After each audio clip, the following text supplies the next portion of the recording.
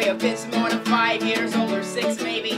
An indication that there's something wrong with our new house.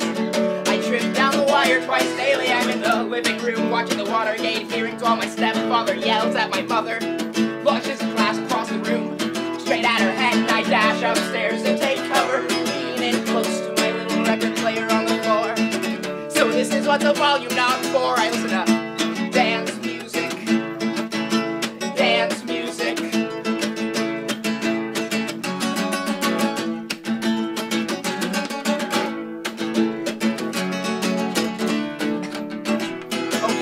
I'm 17 years old.